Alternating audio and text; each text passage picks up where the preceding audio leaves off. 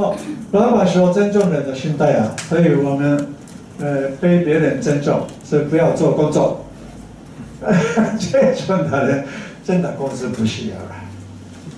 啊，公司的话呢，尊重人的心态是互相尊重，所以互相协助，互相做好的工作，这样子意思了，积极性。所以呢，呃，人人与人的沟通，沟通上服务的地方很多，所以我们基本动作里面十种类。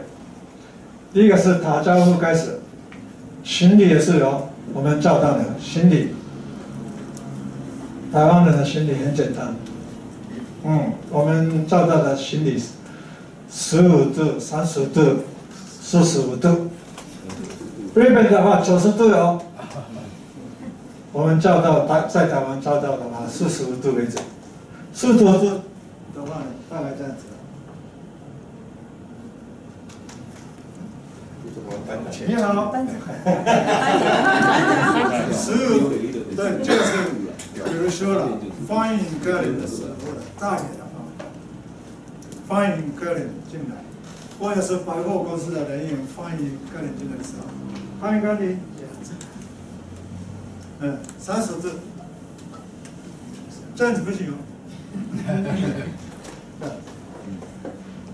看对面，呃，对方行的时候，看下面，再下上来。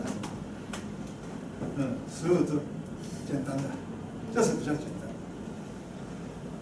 这是练习正式的方式，练。正式的方式练习，来行礼也是很有认识的人的话，正式的时候做得到；没有认识的人的话，完全不知道。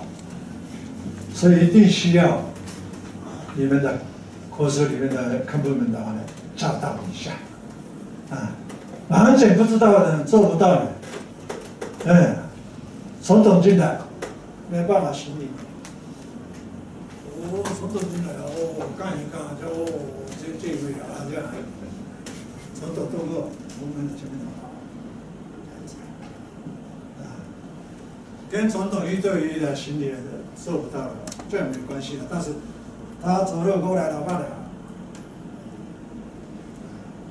正式的方式，所以需要学习。演讲做不到没关系。